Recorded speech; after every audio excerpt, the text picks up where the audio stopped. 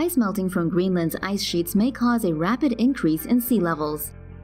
It's no surprise that humankind is running against the climate change clock, but dire changes may come sooner than expected. Ice sheets in Greenland are melting at an unprecedented rate. The most comprehensive study of the subject ever has found levels of meltwater from the Arctic island are 50% higher than during pre industrial levels.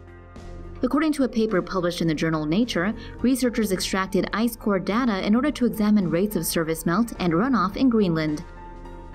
Ice cores are long tubes of ice and snow samples drilled from an ice sheet or glacier. Each layer contains key climate information, including changes in atmospheric carbon dioxide levels and climate stability. The data examined goes back 339 years. The first signs of meltwater date back to the mid 1800s, coinciding with the beginning of the Industrial Revolution.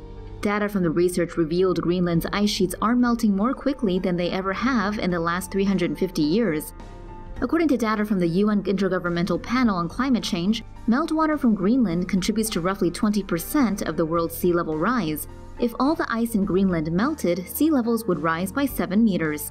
The National Oceanic and Atmospheric Administration reports that global sea levels are rising at an increasing rate at the moment, sea levels are rising at a rate of 0.32 centimeters per year.